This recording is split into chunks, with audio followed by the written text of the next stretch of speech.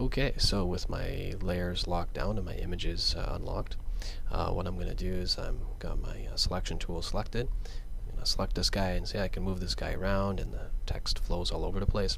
Um, if I hit my A tool, which gets my direct selection, you'll notice that um, the the uh, the picture box itself it kind of turns um, all the little points. Uh, everything is select, but the points, the individual points themselves, are, are filled with white, which meaning they're unselected. And I got this hand. This is wild. This hand is actually, if I was to click on here and drag and hold on the inside, you'll see there is the actual image itself. So what you have is you've got the image, which is placed, you know, inside this the picture box that you've drawn and when you drag this stuff out like this it does get kind of chunky and slow so there's this image uh, kind of like hanging out and and the the picture box that you draw is actually kind of like the crop area so everything outside this area is being cropped out and then everything inside this area is, is visible and so so I got a problem here so I'm like well I want to get this entire picture to fit inside how do I do that I can go in here and I can go over here you can see and this gets kind of confusing if you got really big pictures. So I can go over here to my actual physical picture size. I can hold the shift key down and I can scale it down, right? And kind of do that and then kind of like move stuff around. You know, and, and it's getting there. I can, I can get it down that way. Way faster way to do it is I'm going to actually hold down my, um, I'm going to go up to my direct selection tool. Now I'm going to select this, this, this picture box itself. I'm going to hold down my control. I want to get my contextual menus up while I have this, uh, this picture box selected. Hold on control key, click. And then I get all of the options, many of the options that, that come along with um, uh, with with picture boxes in general. So I'm going to go down here to fitting. So I can fit the content to the frame. I can fit the frame to the content. I can center the content. I can fit content proportionally and fill frame proportionally. Usually I choose this one, fit content proportionally, meaning it scales it down and just sticks it nicely inside that uh, that uh, the box that I've drawn. So I can go in here and I can release this. Pow. Automatically shrinks it down, makes it a nice proportional size. So what I can do is I can now go in here and you'll see now we've got uh, the actual, you know, picture inside the picture box. So you've got the image and then the picture box kind of like the crop zone, right? So I can go in here and I can maybe scale it up a bit hold my shift key down to make sure everything is is uh, is nice and unique um, and also proportionate. Um, so that's how you throw in a picture uh, with the text wrap.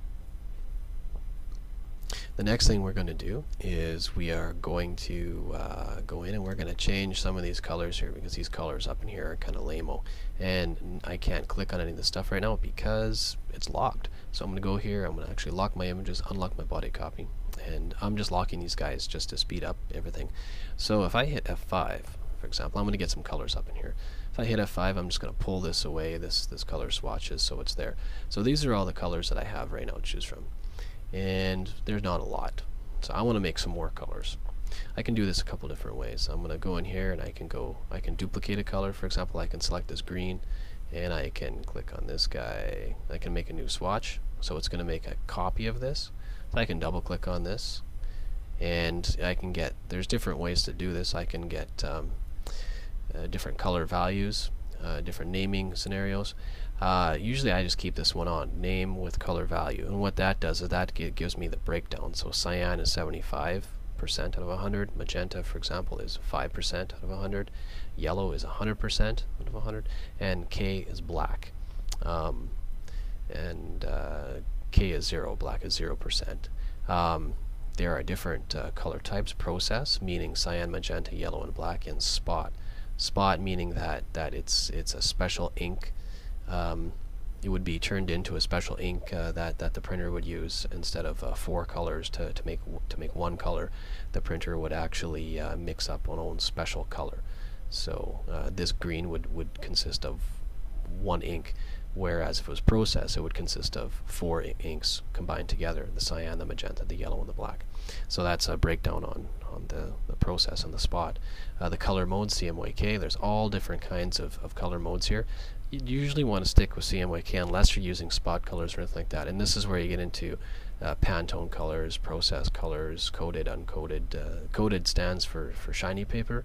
Uh, uncoated stands for kind of not shiny paper, like um, not craft paper, but just not very glossy stuff, uh, because the inks behave differently on either one of these uh, papers. So we're going to just stick to CMYK at the moment. We're going to cover the spot stuff later on. Um, so it's fine. I can modify this. I can make it yellow. I can make it orange. Blah blah blah. It's totally you know up to you. What I'm going to do is I'm going to pull from. I'm going to get some greens up in here, and sometimes, depending on the actual breakdown, uh, the RGB or the CMYK breakdown, you can pull colors right out of your pictures. Sometimes it works, sometimes it doesn't. If you want to get total representation, I'd recommend going into your Photoshop file and sampling there instead of sampling out of your, your InDesign file. Uh, so what I'm going to do is I'm going to go in here, I'm going to I'm to get a, a green in here going on, a dark green. I'm going to go OK. I can make a new swatch just like so and I'm gonna make maybe this one uh, bring it in here. We can make it an orange. And I'd recommend uh, making colors out of process because the spot colors themselves the Pantone colors like I kinda hit with there's millions of colors to choose from but those colors are special colors special inks are used to make those colors. So chances are when you use those colors um, you, the printer won't be able to reproduce them very well um, some of them go kind of nutty when you when you convert them over to CMYK. Uh, just a tip. Uh, so we're gonna maybe do a I don't know a pink here. I'm just gonna do up a couple different ones here, and maybe I can use you know you can use different variations. So this blue, for example, I can go here make a new swatch. Go in here. I'm gonna play with uh, let's see, hmm, maybe a dark kind of a tealy looking color here and I want an orange too, so I'm going to actually go in here and duplicate another one. And we're going to bring this down, bring that up.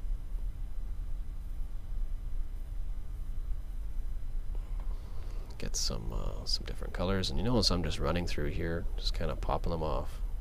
Different variations on one particular theme. Oh, and by the way, all this stuff right here, these little squares with the blue, the magenta, the yellow, and the black, this is indicating that these are all CMYK except for these two. These two are RGB. Never use RGB colors.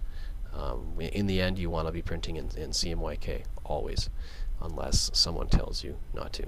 So we got some colors in here, so now I've got these colors set up. What I'm going to do is go to my body copy, for example, and I'm just going to start selecting text and chunking them in. So I'm going to go in here and select my, my text box right over here.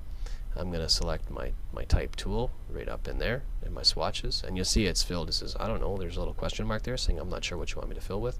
I'm going to click on this guy, done. That's all you got to do. And you can run through and change it to whatever color you want. Uh, I'm going to change it to, uh, kind of make it this, this bright orange um, just for kicks and giggles. And we're going to change this one to maybe a, you notice when it defaults, when you select something, it defaults to the actual text box itself. So if I click on this, it's going to fill this entire text box with color, which is cool too if you want to do that. What I want to do is I want to get the text selected. So I'm going to say, hey, which text, this text here, I want you to fill with. So we're going to maybe fill that with, with teal there. And these colors totally don't match. I'm just picking arbitrary colors just to, for a good example here. Um, let's see, maybe uh, we'll go down here. This guy could be, and we're doing it again, this guy could be maybe this bright color here, convergence marketing. These are horrible colors, my god. I'm going to go over here and maybe I'll want uh, some blues. And we'll do this blue too. Uh, there we go. So now we got some color applied here, which is kind of cool. And what I'm going to do is hit W to hide all my guides and stuff. So there we are. Looks kind of weird. I probably have to adjust the spacing in here. Um, and by the way, just so you know, uh, for example, I can I'm going to take this this chunk of text over here. Kind of funny right here. What I can do is I can apply transparencies to this also, and just a, a preview of, of what transparencies can do. Right up here in the top, you got this FX. Same kind of stuff in Photoshop. I wouldn't touch a lot of these. Some of them work, some of them don't. But what does work, what I know works, is the transparency. So if I click on transparency, I can change this to multiply, and I'm going to turn on my preview. So it multiplies, you've got a screen, you've got an overlay, you got a soft light, a hard light, uh, color dodge, which works interesting, color burn difference, which reverses